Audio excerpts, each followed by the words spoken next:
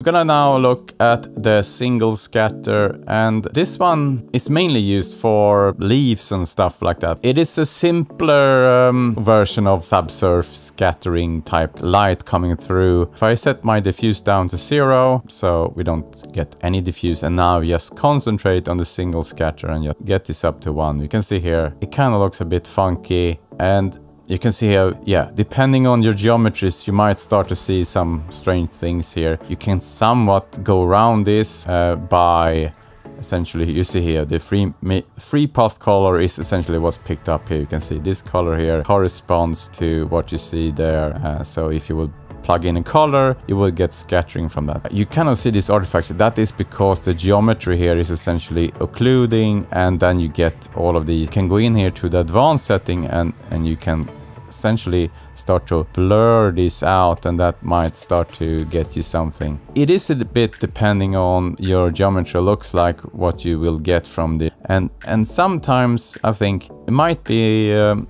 worth in conjunction with subsurface in some cases to use this or if you have leaves uh, definitely could use single scatter instead of subsurface to get this kind of effect where you see light coming through the surface. But as you can see here, when you have multiple objects uh, on top of each other, you might start to get, uh, for example here, my geometry is bending over and back and then it stops there.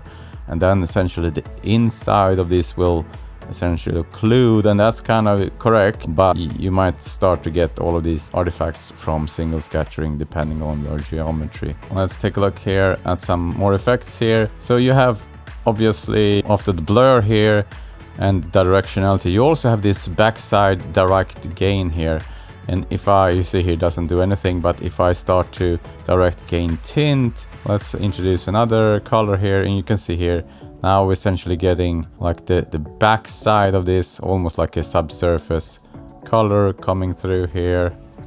And yeah, so that's something you can play with. As you can see here, compared to subsurface, this is kind of a bit harder to art direct because it's very geometry dependent. So a bit of a single scatter on objects might, um, depending on how they look like, might be something you could use. In the next episode, we're gonna take a look at the glass component. If you wanna support my channel, consider dropping a comment in one of the videos with information of upcoming episodes you wanna see from Meshmen Studio. See you in the channel, bye bye!